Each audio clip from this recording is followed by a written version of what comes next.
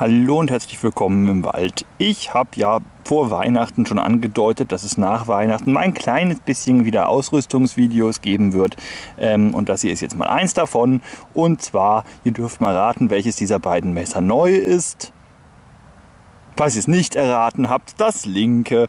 Denn hier vor euch liegt so ziemlich das erste Militärbündnis in der Geschichte zwischen Deutschland und der Schweiz. Man kann es an den jeweiligen ähm, ja, aufdrucken, erkennen, welchem Land das jeweilige Messer mal gehört hat. Jetzt gehören sie mir. Ähm, das Bundeswehrtaschenmesser, das moderne in Anführungszeichen auch BW Scharf genannt. Und wie ich jetzt rausgefunden habe, die Schweiz hat genauso eins, was ich übrigens sehr toll finde. Allerdings muss man sagen, die Schweiz hat, da sie dieses Messer auch hergestellt hat, auch wenn es da nicht draufsteht, ähm, bei Schweizer Modell ihrem Nationalstolz ein wenig Ausdruck verliehen und da dann auch draufgeschrieben, dass sie es hergestellt haben. Und außerdem haben sie weder Kosten noch Mühen gescheut, das reiche Schweizer Militär, um hier einen Gummirand und äh, vier, na, oh, ganze fünf Gumminoppen pro Seite anzubringen, damit das Ganze noch rutschfester in der Hand sitzt. Und äh, wenn ich ehrlich bin, so im Vergleich hier, Deutsch, Schweiz, das rutscht halt wirklich gar nicht. Hier das deutsche Modell, das ist schon so ein bisschen flutschig. Ähm, das Schweizer Modell muss man sagen, da es hilft. Also es hilft schon wirklich, insbesondere wenn man nasse Hände hat. Das habe ich daheim mal ausprobiert. Ich habe jetzt gar kein Wasser da. Ähm, ist das schon nochmal ein gewisser Vorteil. Außerdem, was mit diesem gummierten Rand eben nicht passieren kann, was hier beim deutschen Modell sehr wohl passiert ist, ist, dass es runterfällt und der Rand einfach mal abkracht. Ich vermute mal schon, dass der gummierte Rand da ein Werk wirkungsvoller äh, Schutz wäre.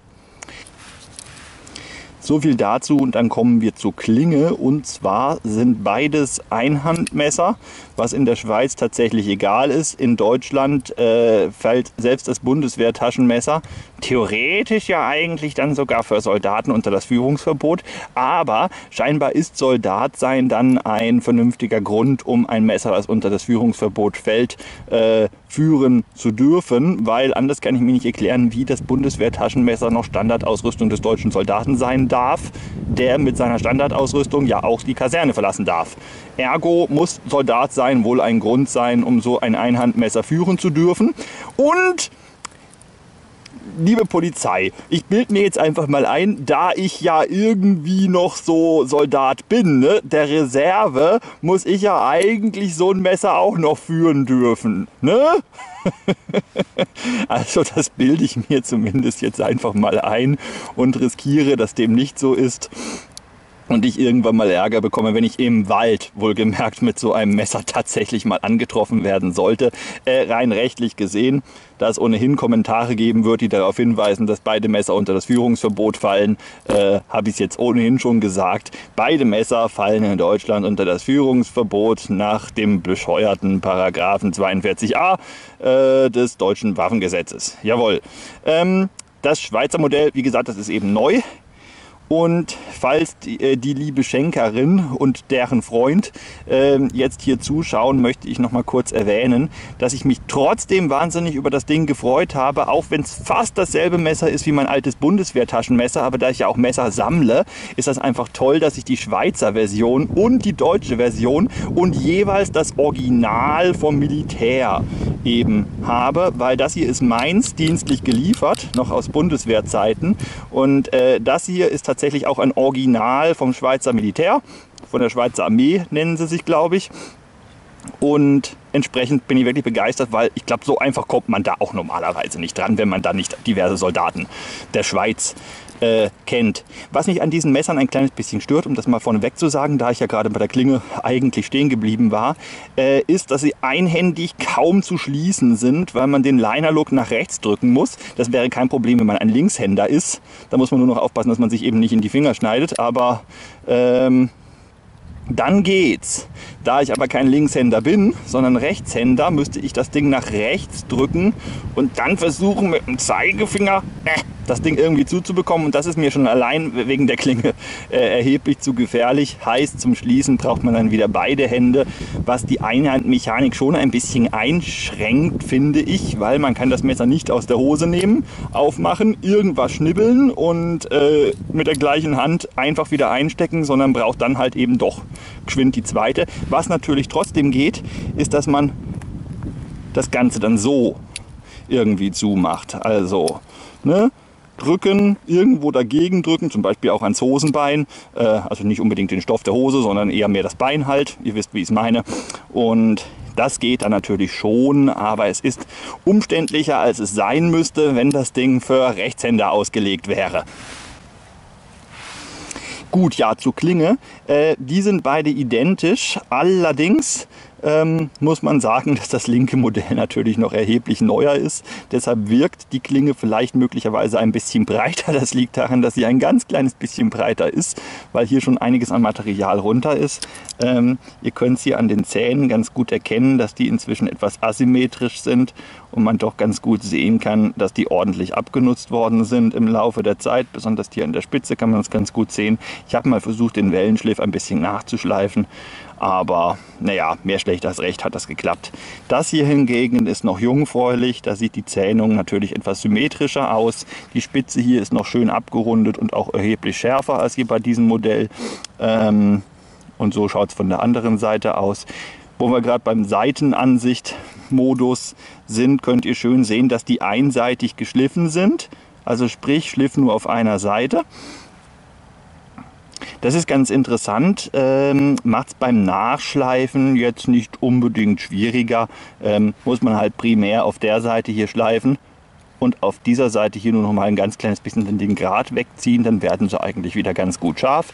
Zum Wellenschliffschleifen braucht man natürlich halt irgendein Spezialgerät, was das kann. Äh, ich persönlich bin ohnehin kein guter Messerschleifer und habe mich deshalb an den Wellenschliff jetzt relativ wenig dran getraut, weshalb dieses Ding jetzt mittlerweile auch nicht mehr so scharf ist. Klar, Brötchen aufschneiden kann man damit noch. Äh, ich habe mal das hier ausprobiert, das geht natürlich durch alles Mögliche. Wie Sau. Wir machen gleich noch einen kleinen Test. Ja, das Zubehör ist bei beiden Messern identisch. Ähm, es gibt statt dem Korkenzieher einen doch in den meisten Fällen erheblich nützlicheren äh, Schraubenzieher, wobei ich sagen muss, dass ich den Korkenzieher auch gebrauchen könnte, da ich gerne Wein trinke ähm, und auch gerne mal ein Fläschchen Wein in der Natur dabei habe, insbesondere wenn ich mit Frau in Natur bin, was ja auch nun wieder mal vorkommen soll. Ähm, sehr praktisches Werkzeug finde ich ist dieses Ding. Ich vermute, es heißt Aale. Ich bin mir beim Namen dieser Dinger nie so ganz sicher. Jedenfalls kann man damit hervorragend Löcher in so ziemlich jedes Material bohren, inklusive Konservendosen. Habe ich schon viel gemacht, weil ich, also mit dem anderen habe ich das schon viel gemacht, weil das so ziemlich das einzige Werkzeug ist, mit dem ich überhaupt Löcher in Konservendosen mache, um irgendwelche Hobo-Dosen zu bauen. Ähm, ja, man kann es hier ein bisschen erkennen, dass die Schneide in Anführungszeichen da schon mal ein bisschen gelitten hat. Wenn man da wirklich viel mit Metall arbeitet und da dann brachial drin rumbohrt, die Hauptfunktion, dass ein Loch reinkommt, das funktioniert natürlich immer noch. Aber man kann schon sehen, diese Schneide in Anführungszeichen, die hier dran ist, ist schon schartig geworden. Die ist hier noch erheblich jungfräulicher. Theoretisch, früher dachte ich ähm, äh, immer, man könnte dieses Ding eigentlich primär zu verwenden, verwenden, um damit Dreck unter den Fingernägeln zu entfernen. Dafür wäre das gedacht. Ähm, ist es nicht. Ja, dann kommen wir zum Innenleben in Anführungszeichen. Da gibt es hier einmal einen guten Flaschenöffner. Ich persönlich brauche den. Ich trinke nämlich kein Bier, habe demzufolge auch keine Übung mit Bierflaschen aufmachen oder eben andere Flaschen, die einen Kronkorkenverschluss haben. Und wenn ich dann mal an einen Kronkorkenverschluss komme, muss ich sagen, ich kriege den ohne Flaschenöffner kaum auf. Also ich kann das nicht mit den Zähnen, nicht mit den Zähnen, nicht mit einem Feuerzeug und äh, was auch immer. Kriege ich alles nicht so wirklich hin. Ich brauche tatsächlich so einen Öffner, weil ich Bierflaschen zu selten aufmache einfach. Mir fehlt da die Praxis. Und hier vorne dran ist noch ein Schraubenzieher. Ähm, ich habe noch nie so ganz begriffen, warum dieses Teil hier arretiert. Ich weiß nicht, was man massive was für, was für massive Schrauben man mit diesem Ding hier schrauben will, ähm, dass es notwendig ist, dass das wirklich massivst arretieren tut. Aber das tut's. Naja, man kann das natürlich dann auch als eine Art Brecheisen in Anführungszeichen verwenden, um irgendwelche ja, Holzkisten möglicherweise aufzuhebeln oder ähnliches zu machen, dann wäre die Arretierung natürlich praktisch. Und das Ding ist schon wirklich ordentlich brachial. Ist wahrscheinlich Schweizerdeutsch, was ich hier gerade zu sprechen versuche. Kennt ihr das Huchekäschli? So ähnlich. Das soll sowas wie Küchenschrank heißen, ist aber wohl scheinbar ein Schweizer-deutsche Verarschungswort, weil kein Schweizer seinen Kuh Küchenschrank wirklich Huchekäschli nennt. Aber äh, ja, zum Deutsche äh, verarschen irgendwie. Habe ich mir sagen lassen. Ja, das hier ist ein Dosenöffner. Der funktioniert hervorragend, also zumindest ähm, das Modell an der Alternative. Na, das. Wo ist es denn? Heieiei, deshalb werden meine Videos immer so lang, weil ich keine Ahnung habe, was ich hier tue. Äh, der hier funktioniert jedenfalls hervorragend. Der ist jetzt schon ein bisschen stumpf geworden, weil ich wirklich viele Dosen damit aufgemacht habe. Das funktioniert also wirklich gut. Ähm, und der hier wird entsprechend auch gut funktionieren, vermute ich mal sehr. Die sind auch mehr oder weniger baugleich. Hat hier ein bisschen Dreck noch dran. Sollte gut funktionieren und das da vorne ist noch ein kleiner, ähm, kleinerer Schlitzschraubenzieher, wobei hier der Dosenöffner eben nicht arretierend ist. Bis warum? Wie gesagt, ich weiß es nicht. Gut, und dann haben noch beide Messer diese wirklich sehr effiziente, wunderbar funktionierende Säge. Ich habe den Eindruck, die hier sei besser. Das könnte allerdings daran liegen, dass die hier eben neu ist. Und das Modell, was hier dran ist, na, wo ist er? Da ist er entsprechend mittlerweile etwas in die Jahre gekommen, aber wir machen mal eine Gegenüberstellung spaßeshalber. Und wir sehen keinen nennenswerten Unterschied zwischen den Sägen. Die hier fühlt sich jedenfalls enorm hochwertig an und mit der hier weiß ich, habe ich schon jede Menge tolle Dinge gesägt. Ja, also Säge, die arretiert komischerweise auch wieder nicht. Ne? Aber der Flaschenöffner. Jo, und das war's mit den Funktionen auch schon. Wie gesagt, vom Grip her die Schweizer Variante ein bisschen geupdatet. Ansonsten sind sie sich ziemlich gleich, aber als Messersammler, ja, guckt mal, wie toll ist denn das, wenn man da jeweils die Original-Militärversion äh, vom Messer hat. Ich finde das toll. Ähm, ansonsten sind die als EDC-Messer auch wirklich super geeignet, weil auch wirklich alle nennenswerten Funktionen, die ein Messer, ein Taschenmesser, also ein Multifunktionstaschenmesser haben sollte, meiner Meinung nach dran sind. In seltenen Fällen braucht man mal andere Schraubenzieher als die, die hier dran sind, aber das ist bei mir auch wirklich noch nicht oft vorgekommen und ich habe dieses Messer auch schon viel bei Umzügen und ähnlichem verwendet. Gut, es ersetzt nicht den kompletten Werkzeugkasten, äh, dafür wäre dann halt so ein Bithalter ähm, noch ganz hilfreich. Nicht, dass ich jetzt der Meinung bin, dass das da unbedingt dran gehört. Ich finde das so ehrlich gesagt sympathisch, aber das kann halt das, was es kann und dann war es das. Und eben jetzt nochmal eine neue, tolle Schweizer Version. Ähm, in wieder scharf. Weil das Ding so langsam, viel hätte ich es nicht mehr benutzt, weil die Klinge ist halt dann doch, ist gerade auch der Wellenschliff so langsam ein bisschen hinüber. Klar, man kann das dann nochmal irgendwie schön zurechtschleifen, aber ich bin beim Messerschleifen eben eher doof.